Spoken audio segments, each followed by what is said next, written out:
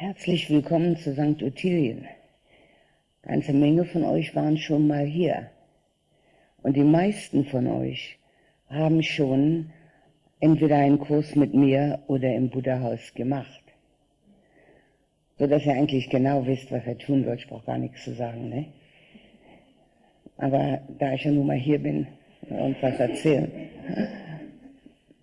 Für diejenigen von euch, die schon die Kurse gemacht haben, hoffe ich, dass dieser Kurs eine Vertiefung der Praxis und eine Erweiterung der Einsicht sein wird. Und für diejenigen, für die das hier neu ist, die noch nicht bei mir einen Kurs gemacht haben oder noch nicht im Buddha-Haus einen Kurs gemacht haben, hoffe ich, dass dieser Kurs eine neue Gedankenwelt öffnen wird. Und das tut es auch für viele. Ich weiß nicht, ob ich sagen soll die meisten, aber viele öffnet eine neue Gedankenwelt. Und wenn uns diese neue Gedankenwelt dann familiär wird und selbstverständlich wird, dann ist sie nicht mehr neu. Dann leben wir in ihr. Und dann ist das eine Umkehrung sozusagen von den weltlichen Ideen, die wir draußen immer antreffen und die eigentlich mit unserem Innenleben überhaupt nichts zu tun haben. Ich habe gerade ein sehr nettes Erlebnis gehabt, was darauf hinzielt. Ich habe den, unseren Bürgermeister getroffen, zufällig. Bürgermeister von Eu. Und wir hatten ein paar Minuten Zeit. Er hatte Zeit, ich hatte Zeit. Wahrscheinlich bei ihm genauso selten wie bei mir. Und dann erzählte er mir, dass er mein Buch gelesen hätte. Buddha ohne Geheimnis, glaube ich, hat er gelesen. Und seitdem hat sich seine Gedankenwelt und seine ganze Arbeitsklima ähm, geändert. Und das hat mich natürlich sehr gefreut. Er hat gesagt, dass er jetzt jeden Dienstagnachmittag hat er drei Stunden Besprechung mit seinen Mitarbeitern. Davon wird eine Stunde besprochen, was sie tun, und zwei Stunden wird philosophiert. Das ist so allerhand in so einem kleinen Rathaus in Eu. Also, das ist nur ein, ein Zeichen dafür, dass die Lehre des Buddhas unsere Gedankenwelt ändern kann und ändern soll. Ich habe diesen Kurs betitelt Das Geheimnis von Leben und Tod.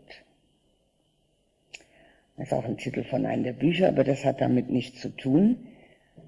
Es ist mir sozusagen eingefallen, dass gerade das ein äußerst wichtiges Thema ist, das wir nicht genügend besprechen können.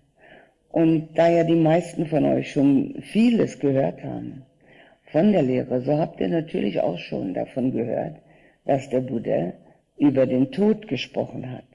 Aber wir wollen es diesmal noch einmal verdeutlichen. Wenn wir sagen, das Geheimnis von Leben und Tod, so wäre eine berechtigte Antwort darauf, na, das Leben ist doch gar kein Geheimnis, das kenne ich ja. Aber der Tod, den kenne ich nicht, das ist ein Geheimnis. In Wirklichkeit stimmt diese Aussage überhaupt nicht. Erstens mal kennen wir unser Leben nur so weit, wie wir es bis jetzt erkannt haben.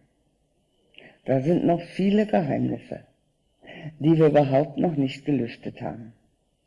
Wir kennen unser eigenes Leben und das Leben um uns herum nur von der Perspektive aus, die wir bis jetzt hatten. Wie weit die Perspektive ich bezogen ist, desto enger ist der Horizont. Sodass da noch viele Dinge gibt, die wir erkennen können.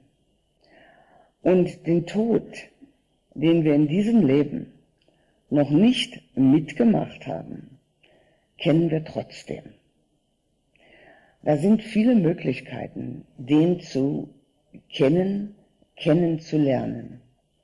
Aber obwohl wir ihn erleben, erkennen wir ihn nicht. Und das ist ein Punkt, den wir vielleicht in diesem Kurs ändern können. Denn in Wirklichkeit sterben wir jede Sekunde, jede Millisekunde. Alles, was in uns ist, jeder Gedanke, jedes Gefühl, jede Bewegung, jede Zelle, jeder Herzschlag, jeder Atemzug, alles, woraus wir bestehen, verschwindet. Aber es kommt wieder.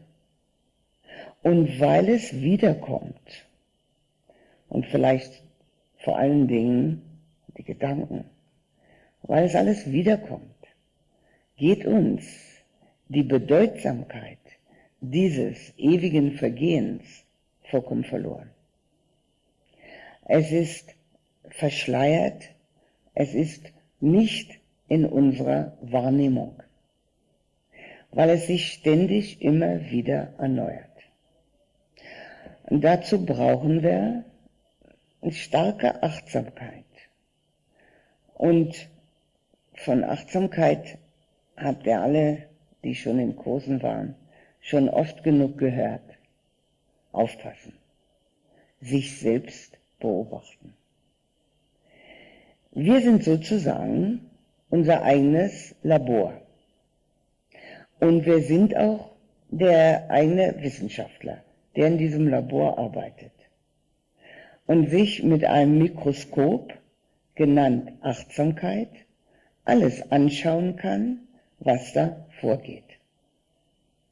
Obwohl fast alle von euch Achtsamkeit schon oft gehört haben, so werdet ihr wahrscheinlich im Geheimen, braucht ihr nicht laut zu machen, zugeben, dass ihr sie oft vergesst.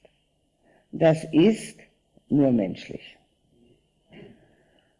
Das ist einfach so für jeden, dass er die Achtsamkeit auf das, was mit uns geschieht, sozusagen im Eifer des Gefechts im täglichen Leben total vergisst und sich nur noch darauf konzentriert, was im Moment gefordert wird und wie er darauf reagieren kann. Und daher kommen Probleme.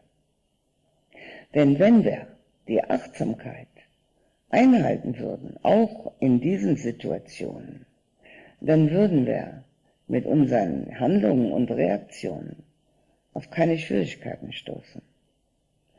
So wenn wir auf Schwierigkeiten stoßen, können wir es für ganz sicher annehmen, dass wir die Achtsamkeit vergessen haben, die Achtsamkeit verloren.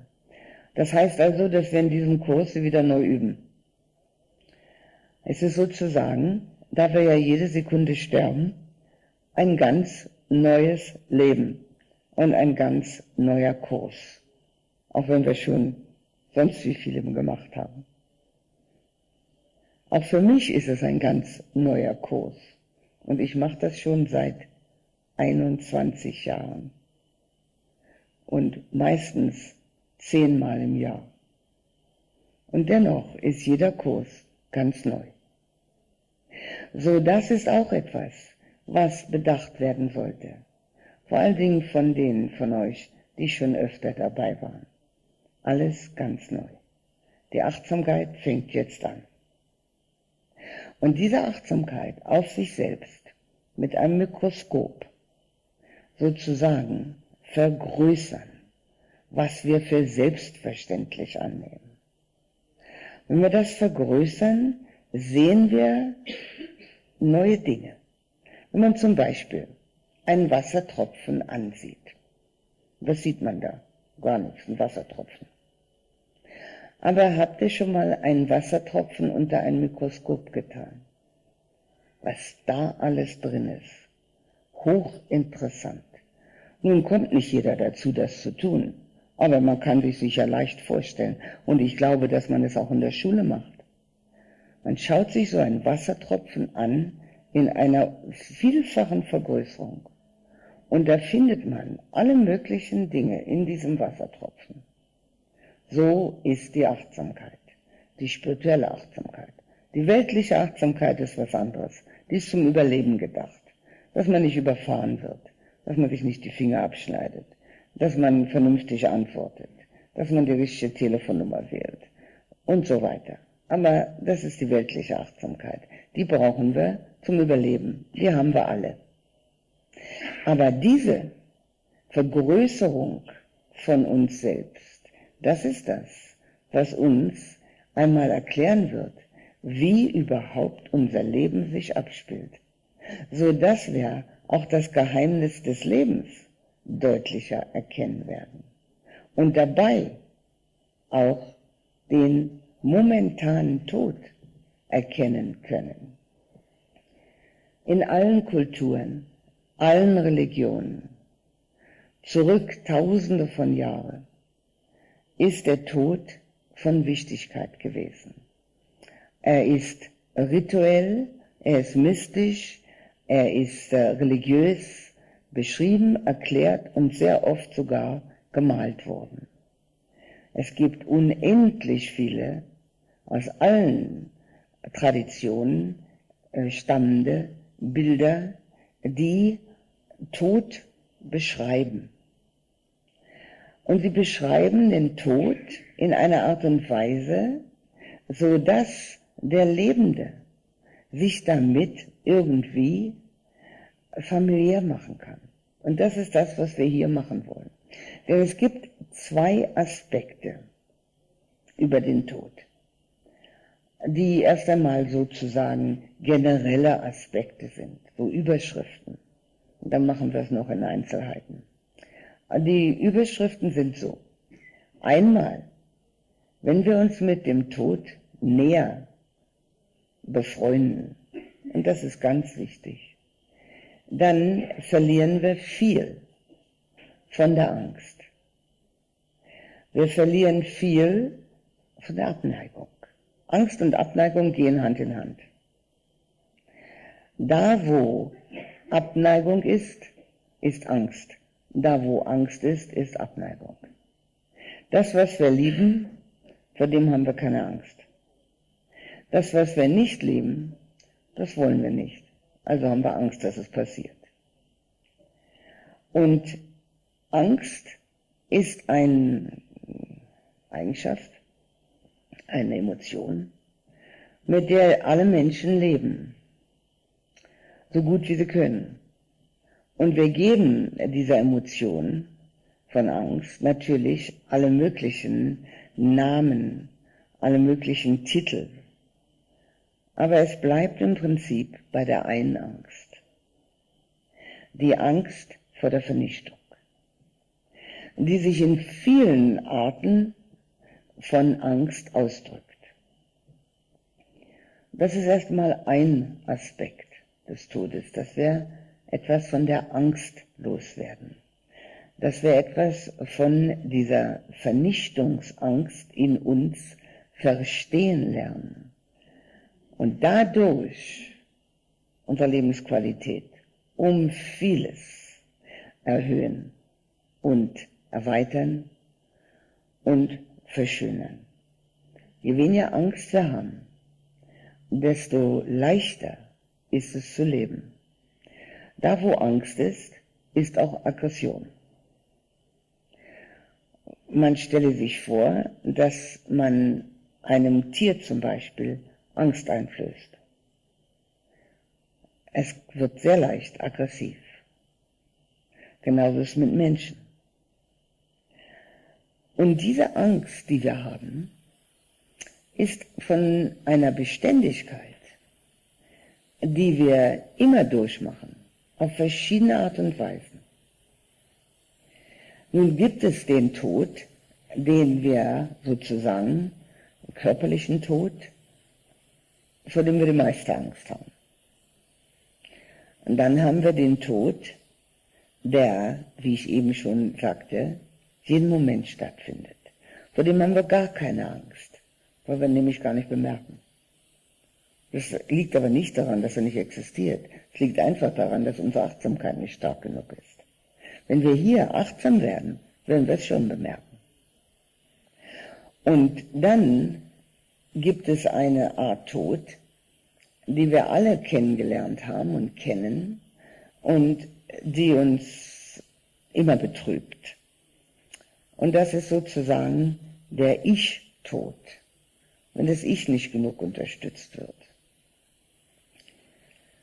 Daher kommt die Schwierigkeit bei der Meditation. Bei der Meditation muss das Ich mal einen ganz kleinen Tod sterben. Und beim noblen Schweigen auch. Und daher ist beides schwierig. Denn es ist ja freiwillig. Wenn der körperliche Tod kommt, so ist das ja im Allgemeinen nicht freiwillig, sondern es ist sogar etwas, was wir zu dem Zeitpunkt überhaupt nicht wollen. Aber hier, durch die Meditation und durch das Schweigen, lassen wir das Ich einmal los. Momentan und auch nicht vollkommen. Aber genügend, um uns zu konzentrieren. Und hier ist der springende Punkt für alle diejenigen, denen die Konzentration noch schwer fällt. Und es hat nichts damit zu tun, wie lange man schon übt. Es sind sehr häufig karmische Resultate. Es sind auch äh, Gedankenmuster. Für alle die, denen die Konzentration schwerfällt, ist es wichtig zu wissen, dass das Ich dazwischen funkt. Und zwar natürlich durch Denken. Je mehr wir denken, desto mehr haben wir eine Unterstützung unserer Ich-Illusion. Da es eine Illusion ist, mit der wir aber vorläufig einmal leben müssen, denn wir haben sie ja nun mal, braucht sie ständige Unterstützung. Wenn es eine Tatsache, eine Wahrhaftigkeit wäre, braucht es überhaupt keine Unterstützung. So ist es eben. Aber da das Ich nicht einen festen Sitz hat, und man sollte das schnellstens mal untersuchen, wo das eigentlich sitzt, das Ich, und wir werden das auch in der Kontemplation machen, und da es nirgends einen festen Sitz hat, so braucht es ständig etwas, was da eine Unterstützung bietet, so dass es eine gewisse Festigkeit bekommen kann. Und das können wir nur durch unsere Gedanken. Wir können es auch durch Handlungen, wir können es auch durch Unterhaltungen, aber da hier Handlungen und Unterhaltungen ja kaum möglich sind oder Minimum sind, so bleibt's bei den Gedanken. Und die spuken dann herum. Und obwohl sie unerwünscht sind, so sind sie dennoch vorhanden. Und das ist wichtig zu erkennen und zu untersuchen, schon bei der allerersten Meditation. Wieso denke ich eigentlich, was ich denke? Wozu mache ich denn das eigentlich? Ich wollte doch eigentlich herkommen zum Meditieren. Denken können wir sowieso. Das machen wir alles schon seit Jahrzehnten. Mal erfolgreicher, mal weniger erfolgreich. Aber auf jeden Fall ständig. Außer wenn wir einschlafen. Das können wir natürlich bei der Meditation auch einschlafen, aber das nutzt auch nichts. Sehr wenig. Es unterbindet momentan das Denken, aber es hilft uns überhaupt nicht, irgendwelche Einsicht zu bekommen. Und es ist von jeher so, dass die ersten zwei Tage eines Meditationskurses ich will nicht sagen drei, das hört sich so hoffnungslos an. Dann sagen wir mal zwei. Mit sehr viel Schläfrigkeit verbunden sind bei vielen. Also sich nicht darüber wundern. Wieso ist ganz einfach zu verstehen. Man kommt aus dem täglichen Leben, wo der Geist ständig, von morgens bis abends, irgendwas tut, ist ständig dabei, aktiv zu sein. Ob er nun immer das Gute tut, immer gut aktiv ist, ist nebensächlich hier. Er ist aktiv. Und plötzlich soll er aufhören, aktiv zu denken und soll erleben. Und da sträubt er sich. Er sagt, so mache ich jetzt nicht mit. Und außerdem, wenn er die Konzentration noch nicht in der ganzen Fülle kennengelernt hat, dann kennt er nur den Moment vorm Einschlafen ohne Denken. Und so hat er vielleicht eine Sekunde ohne Denken und dann glaubt er, ach so, einschlafen. Und dann schläft er ein. Also das nicht zulassen. Stattdessen sofort die Augen aufmachen, wenn die Müdigkeit kommt. Ins Licht schauen. Sich selber gut zureden. Einen, sich selber eine äh, Dammerrede halten. Wie immer auch, ganz egal. Was immer man weiß, was immer man kann, sich selber vorsprechen. Nicht so laut, dass der Nachbar es hört, aber nur innerlich vorreden. Dann ist vom Buddha noch empfohlen, die Ohrläppchen zu ziehen und die Wangen sich zu reiben. Und wenn es gar nicht anders geht, und man immer noch beim Einschlafen ist, aufstehen. meisten Leute können nicht im Stehen schlafen. Aufstehen, ganz langsam und vorsichtig, dass man den Nachbarn nicht stört. Und erstmal wieder wach werden. Und dann sich ganz vorsichtig wieder hinsetzen. Das ist natürlich nur im äußersten Fall. Die Schläfrigkeit in den ersten Tagen des Kurses ist altbekannt. Und haben diejenigen, die schon mehrere Kurse gemacht haben, auch sicher schon durchgemacht. Nun betrifft das nicht jeden. Denjenigen, denen es erspart bleibt, wunderbar. Aber denjenigen, denen es nicht erspart bleibt, sollen sich nicht wundern, sondern Gegenmaßnahmen treffen. Es hat nichts damit zu tun, dass man nicht genug Schlaf bekommt. Es ist einzig und allein hat es was damit zu tun, dass der Geist aufgefordert wird, etwas zu machen, was er sonst nicht macht. Er soll aufhören zu denken, er soll anfangen zu erleben. Ohne Erklärung einfach erleben. Und macht er sonst nie. Sonst erzählt er immer Geschichten. Das ist eine Sache, die die Meditation erschwert.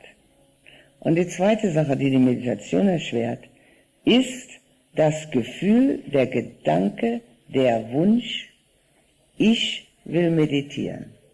Und ich möchte gut meditieren, ich möchte schön meditieren, ich möchte konzentriert meditieren, was immer man sich da gerade wünscht. Das ist vollkommen sinnlos, diese Gedankengänge. Obwohl sie sehr natürlich sind und sehr selbstverständlich sind, sind sie genau gegenteilig von dem, was man gerne möchte. Um die Konzentration zu erlangen, brauchen wir eine Art des Denkens, die total dem entgegengesetzt ist. Und zwar, das Ich vollkommen im Hintergrund. Das hat überhaupt mit dieser Meditation nichts zu tun. Und nur die Meditation nach vorne, im Vordergrund. Es gibt also nur Meditieren und nicht ich meditiere und ich hätte es gern gut, schön, konzentriert oder was immer. Wenn das nicht so einfach geht, wie ich das eben gesagt habe, und das ist anzunehmen, sich immer wieder vorsagen. Nicht ich meditiere, nur meditieren. Allmählich glaubt der Geist es, wie man es ihm oft genug erzählt hat. Und dann wirkt's auch, dann funktioniert's. Der einzige Störenfried, den es auf der ganzen Welt gibt, heißt ich. Es gibt keinen anderen. Auch wenn man sehr häufig glaubt, es wäre du oder ihr oder sie. Es gibt nur einen einzigen und der heißt ich. Und der stört die Meditation. Und er stört alles andere auch. Aber hier sind wir damit beschäftigt. Die Meditation, wie ja die meisten von euch wissen, muss eingebettet sein in ein spirituelles, spirituellen Rahmen. Und diesen Rahmen hat uns der Buddha gegeben. Und diesen Rahmen werde ich von einigen Seiten aus beleuchten.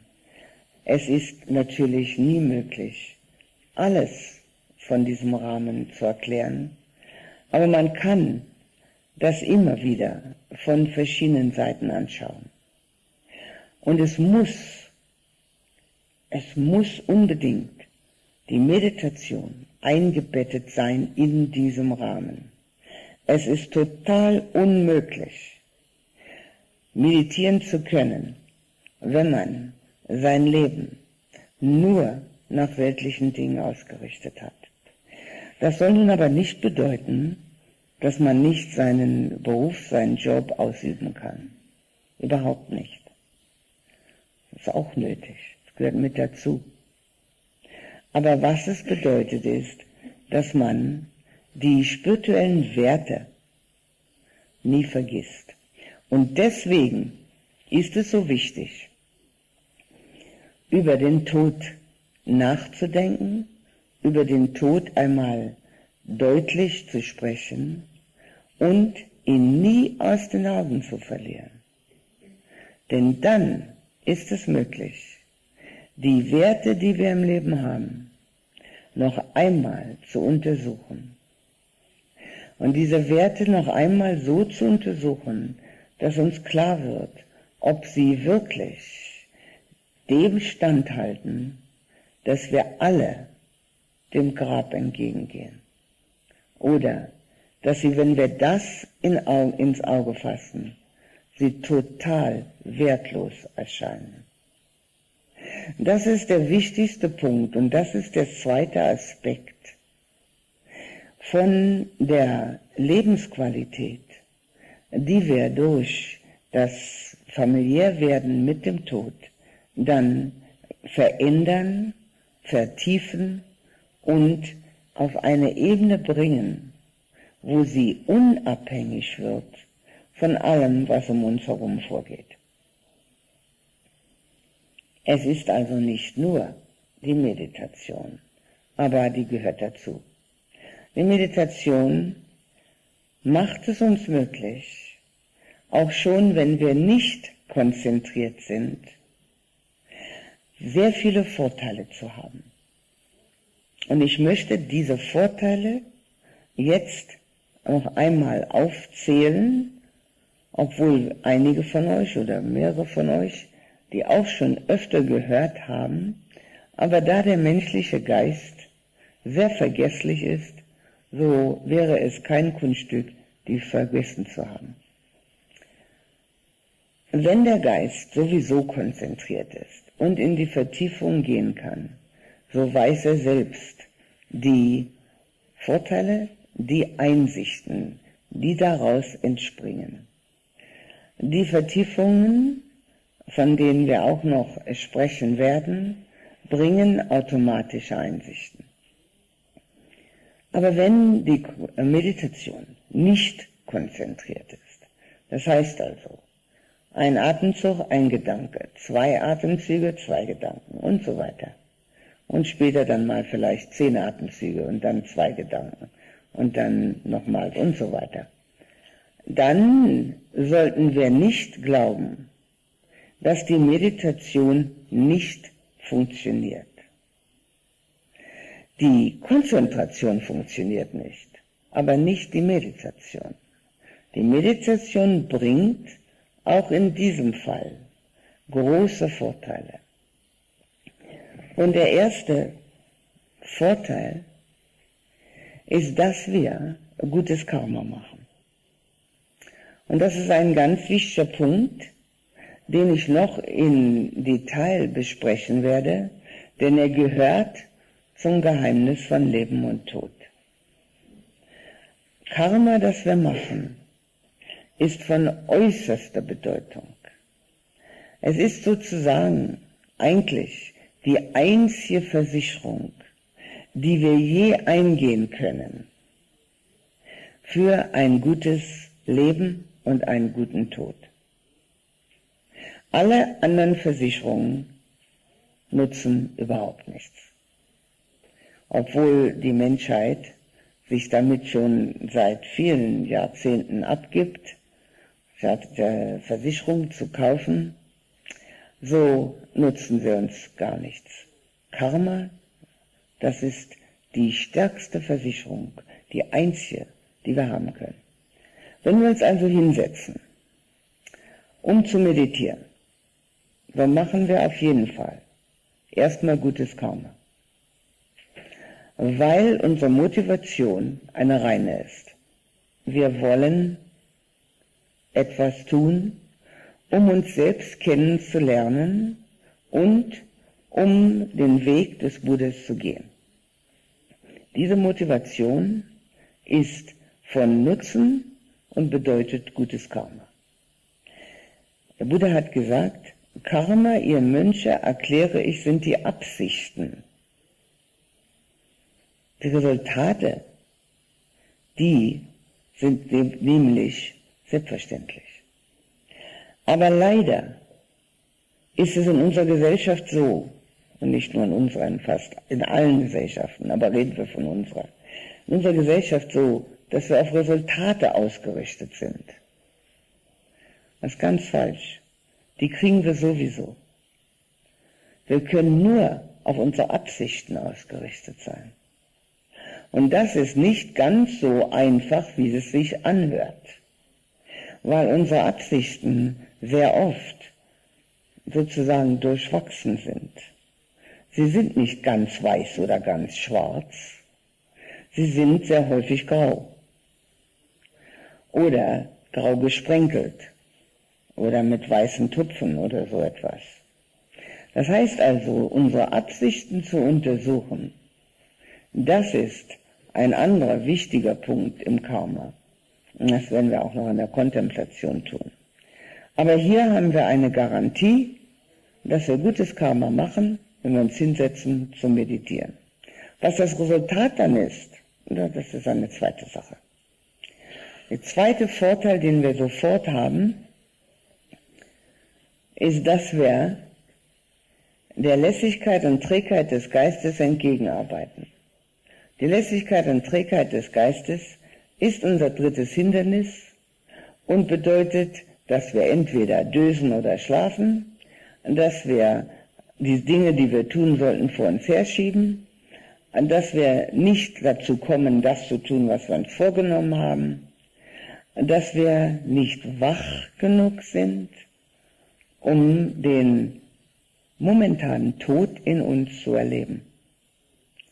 Die Wachheit des Geistes ist das Gegenteil von der Lässigkeit und Trägheit. Jedes Mal, wenn wir uns auf das Meditationsobjekt wieder neu ausrichten, arbeiten wir gegen diese Lässigkeit und Trägheit. Wohlgemerkt, die Hindernisse sind universell.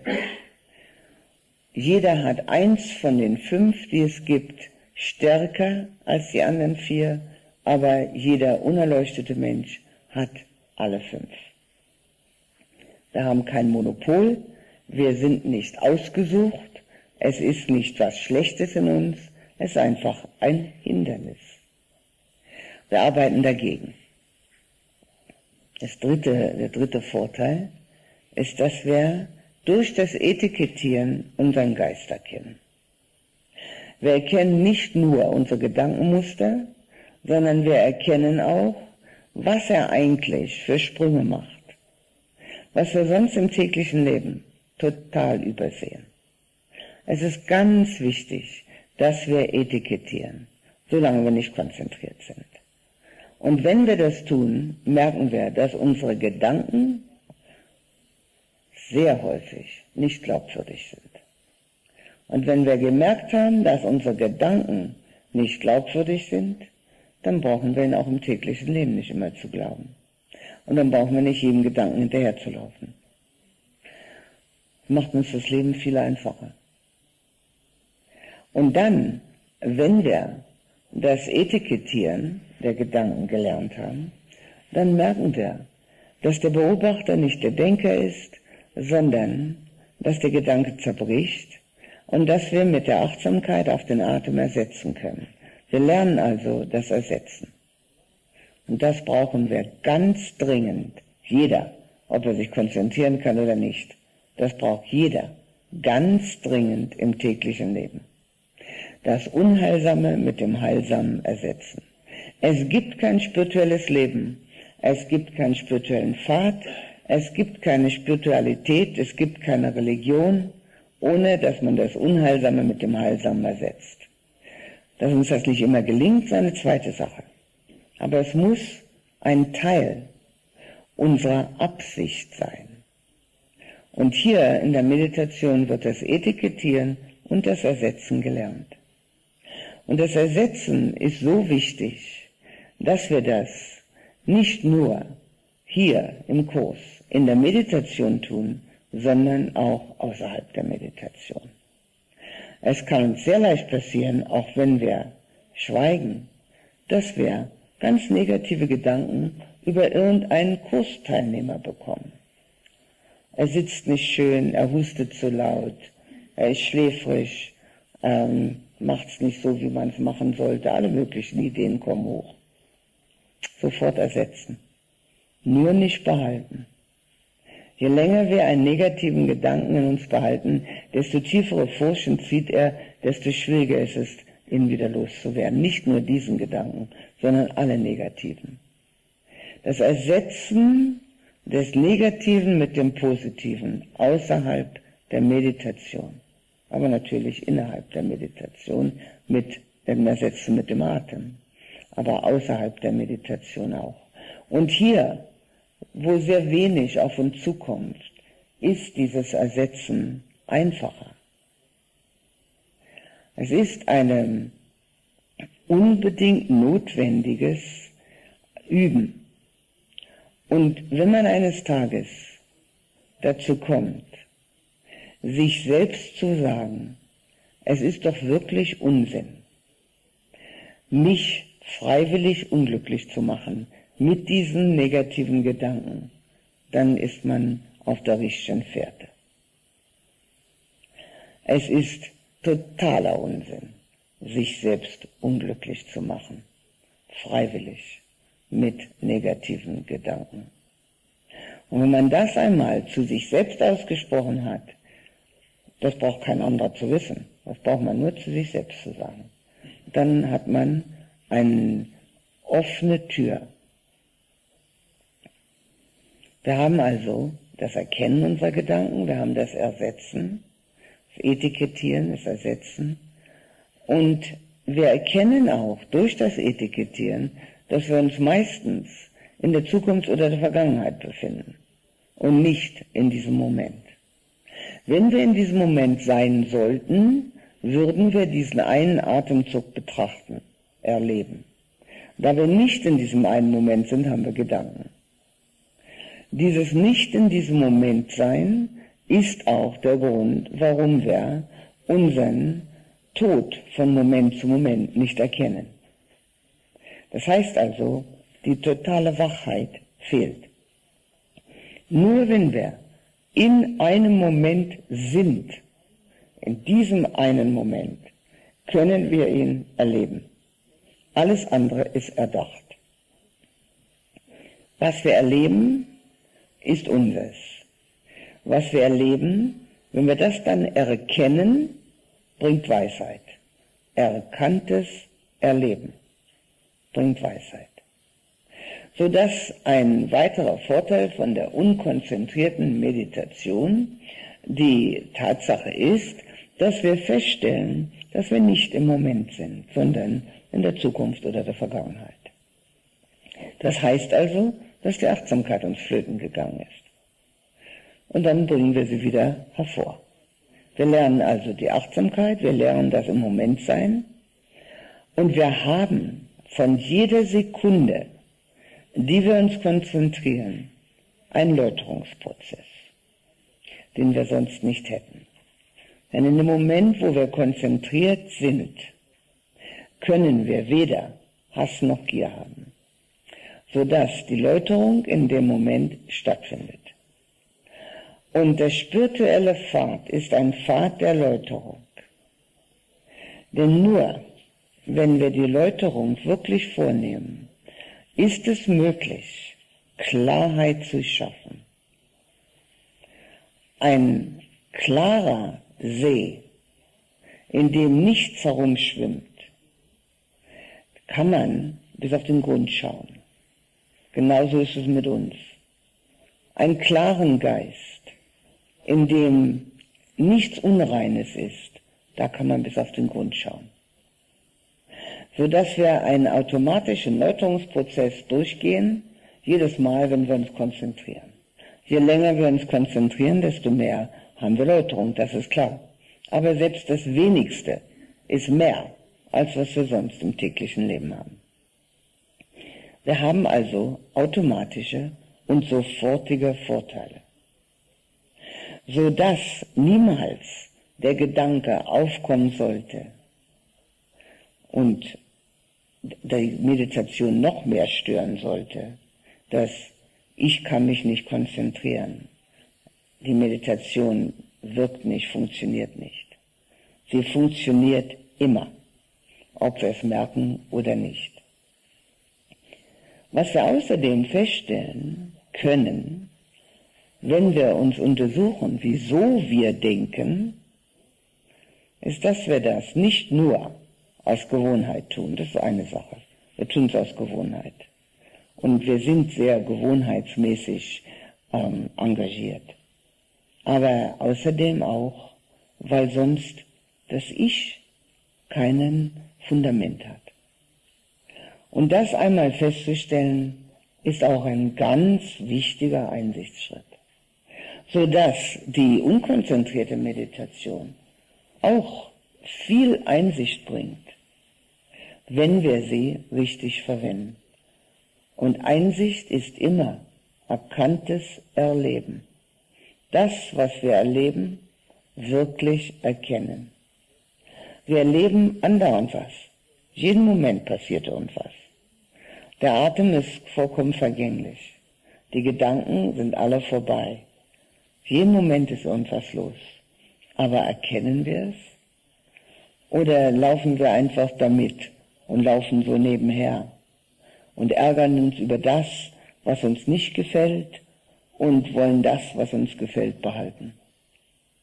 Das sind die nicht wachsamen Reaktionen. Hier in diesem Kurs werden wir ganz wach werden und ganz andere Reaktionen haben. Und alles, was in uns vorgeht, oder um uns herum auch vorgeht, auf eine Art und Weise erkennen, die das Geheimnis von Leben und Tod mehr lüften können. Wir werden selbstverständlich über diese Dinge noch in viel mehr Detail sprechen. Über das Karma machen, wie, wann, wo und auch vor allen Dingen, was für Arten von Karma, aber vor allen Dingen auch, wie wir jeden Moment unseres Lebens so verwenden können, dass wir gutes Karma machen. Und das ist ein Punkt, den wahrscheinlich jeder selbst erkennen kann. Wie kann ich jeden Moment meines Lebens verwenden, um gutes Karma zu machen und nicht auf ganz besondere Gelegenheiten warten.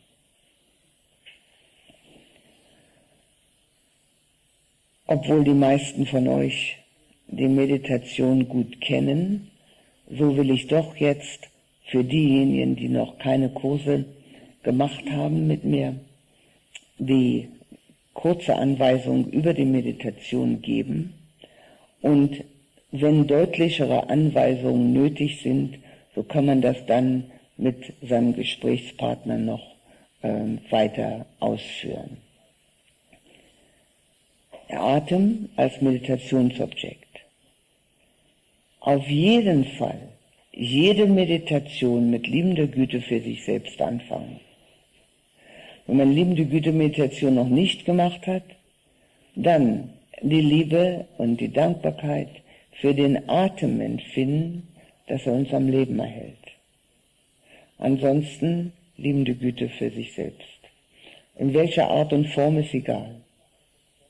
Auf jeden Fall so, dass der Geist ein Gefühl der Zufriedenheit in sich spürt, dass ein Gefühl nicht der Überheblichkeit, wie wunderbar ich bin, sondern einfach und allein die Zufriedenheit mit dem, wie es gerade ist und weiter nichts. Es kann einem leicht passieren, dass da Überheblichkeit hochkommt. Vorsicht. So wie es ist, ist es gerade gut.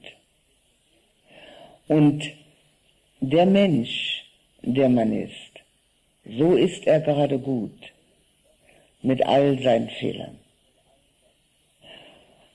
Das Gefühl der Dankbarkeit und Liebe für den Atem oder auch für die Möglichkeit des Meditierens, für die Möglichkeit, die Lehre des Buddhas zu hören. Was immer einem am meisten anzieht im Moment. Auf jeden Fall jede Meditation damit anfangen. Wie lange man das macht, ist egal.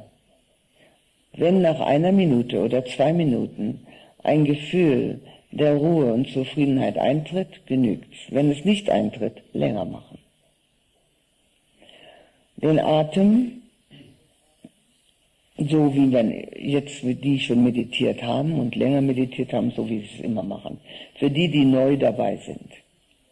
Entweder zählen. Eins beim Einatmen, eins beim Ausatmen. Zwei beim Einatmen, zwei beim Ausatmen, nicht mehr als zehn. Ein Wort. Ein Wort wie Ruhe. Ruhe beim Einatmen, H beim Ausatmen. Oder ein Wort. Kann sich jedes Wort nehmen dafür. Das sind alles Hilfsmittel. Wenn der Geist konzentriert ist, braucht man die Hilfsmittel nicht. Aber am Anfang braucht man sie nötig. Wenn man visuell veranlagt ist, aber nur dann, sich vorstellen, dass eine Ozeanwelle den Atem hereinbringt und wieder herausnimmt. Nur für diejenigen, die sowieso ihre Gedanken in Bildern sehen. Die anderen haben dann noch doppelte Mühe, müssen sich konzentrieren und sich noch ein Bild vorstellen, hat überhaupt keinen Sinn.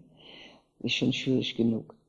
Also, nur für die visuell Veranlagten. Und vierte Möglichkeit ist die Empfindung. Die Empfindung, die der Wind des Atems an den Nasenlöchern hervorruft, in der Nase, manchmal spürt man es in der Stirn, im Rachen, wo immer man die Empfindung des Atems spürt. Und für diejenigen, die schon länger meditieren und die im Moment einen Hilfsmittel brauchen, Anfang, Mitte, Ende des Atems. Da kann man zählen, eins, zwei, drei, man muss nicht. Anfang, Mitte, Ende kann man nicht sagen, das dauert zu lange.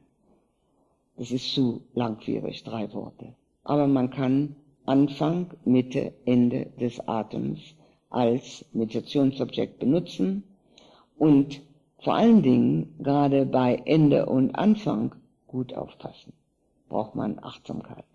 Für diejenigen, die schon länger meditieren und jetzt am Anfang des Kurses ein Hilfsmittel brauchen. Das sind Hilfsmittel. Immer mit dem Atem verbunden. Das Etikettieren habe ich bereits erklärt. Sobald Gedanken kommen, etikettieren. Immer etikettieren. Es gibt nichts, was uns mehr hilft, uns selbst kennenzulernen.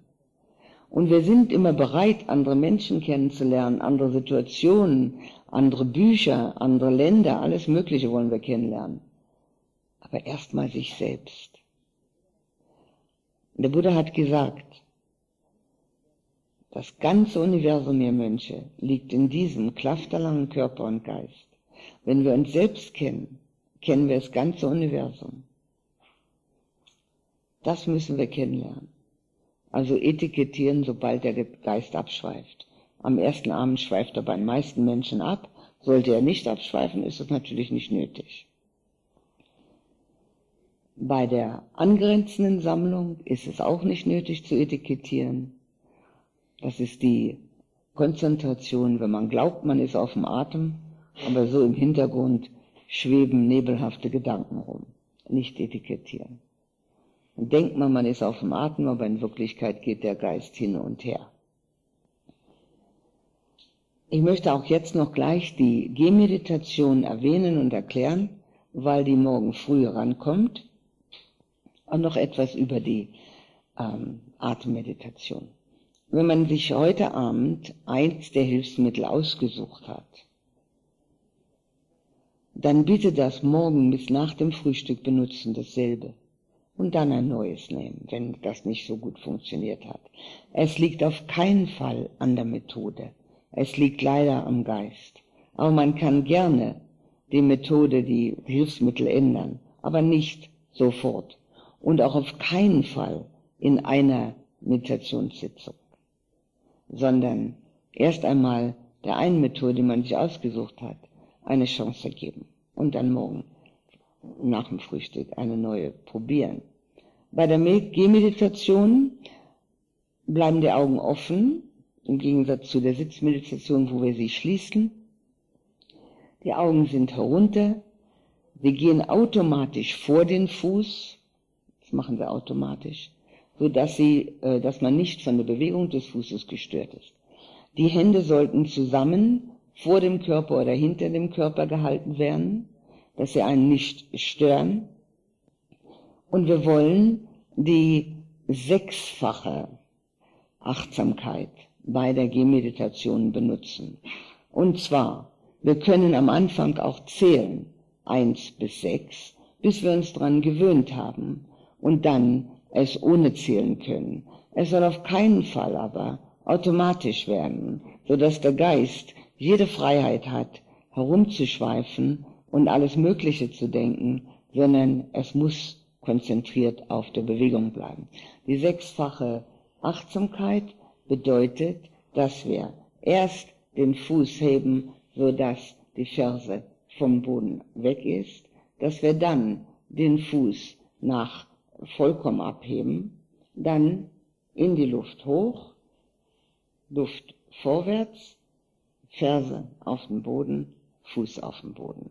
Das heißt, es gibt zwei Bewegungen, um den Fuß abzuheben von dem Fußboden, von dem Erdboden. Erst die Ferse hoch, dann den Fuß hoch, dann gibt es zwei in der Luft, eine hoch, eine vorwärts, dann zwei herunter, Ferse herunter, Fuß herunter. Wenn man zählt und man kommt nur mit fünf aus, ist auch okay. Aber man sollte versuchen, alle sechs. Das bedeutet starke Achtsamkeit. Wenn man die eigenen Bewegungen, die Bewegungen des Geistes, Bewegungen des Körpers, in kleine Teile zerlegt, lernt man sich selbst besser kennen. Das ist eine der Methoden, die der Buddha immer wieder benutzt hat. Alles in die kleinsten Teile zu zerlegen, so dass man sich nicht mehr als ein solides Objekt sieht, als ein solides Etwas, das eine Funktion ausführt und ein jemand ist, sondern aus Kleinteilen besteht. Und das ist bei der Gehmeditation hilfreich. Bei gutem Wetter können wir es draußen tun, wenn es schlechtes Wetter ist, in dem Nebenhalle hier, die offen ist, die Halle direkt neben hier, oder auch in den Gängen. Wenn wir es in der Halle machen, bitte nicht durcheinander laufen. Das wird unmöglich. Das heißt also, von der einen Seite, von der Fensterseite auf die andere Seite gehen und wieder hin und zurück. Und nebeneinander. Es ist unmöglich, wenn einige Leute so gehen und die anderen gehen so. Kann man sich nicht konzentrieren. Also alle von der Fensterseite zu der Wand und wieder zurück.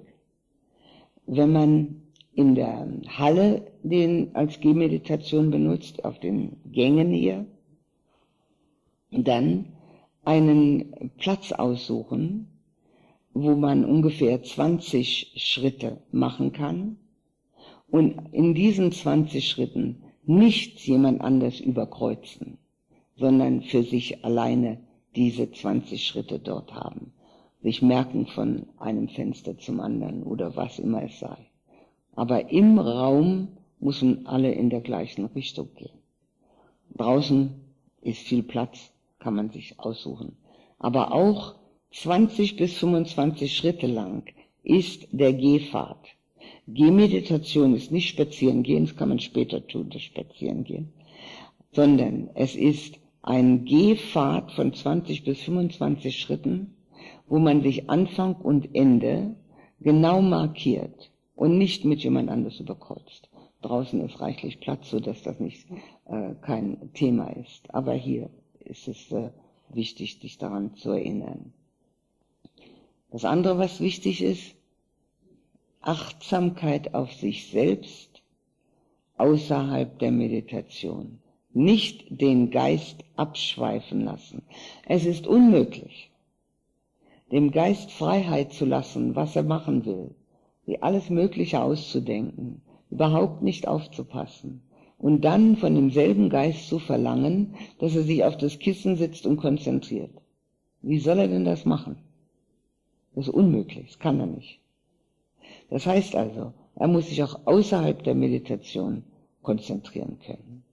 Und das Konzentrieren bedeutet, dass man weiß, was man tut mit dem Körper oder was man tut mit seinen Emotionen oder wie die Gemütsstimmungen sind oder der Inhalt der Gedanken sind die vier Grundlagen der Achtsamkeit. Und diese vier Grundlagen der Achtsamkeit, diejenigen benutzen, die im Moment die stärkste ist. Im Prinzip ist das, was wir benutzen, am meisten benutzen, die Achtsamkeit auf den Körper außerhalb der Meditation. Wissen genau, was man tut. Beim Gehen jeden Schritt.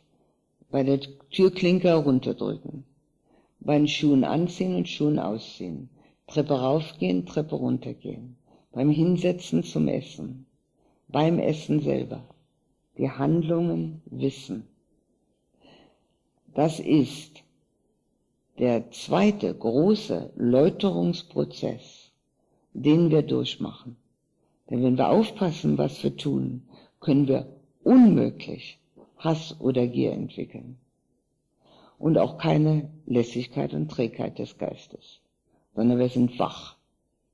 Und die Wachheit des Geistes, das ist das, was der Buddha lehrt.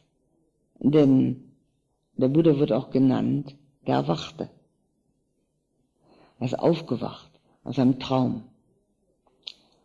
Was wir in der Welt für wichtig halten, ist ein Traum. Wenn wir aufwachen, merken wir ganz genau, wir haben uns in einem Traum bewegt und alles für bare Münze genommen und alles für wichtig gehalten. Genau wie wenn wir nachts träumen und dann aufwachen und denken, ach Gott sei Dank, war ja nur ein Traum. Also ist mir hier auch mit uns. Gott sei Dank, ist nur ein Traum. Aber dass es uns berührt, wehtut, ärgert, dass wir Begierden haben, Dinge wollen, das ist alles ein Teil des Traums. Genau wie in der Nacht. Da spielt sich auch unheimlich viel ab. Was wir da alles träumen können und wie wir uns da aufregen können und wie entsetzlich das auch manchmal ist. Manchmal ist auch ganz schön. Aber wenn wir aufwachen, ist alles weg. Und so ist es bei einem Buddha einer Wachte. Und wir wollen versuchen, wach zu werden. Und das können wir nur tun, wenn wir wach bleiben. Am Tage natürlich, nicht in der Nacht. Und aufpassen, was wir tun. Auf uns selbst aufpassen.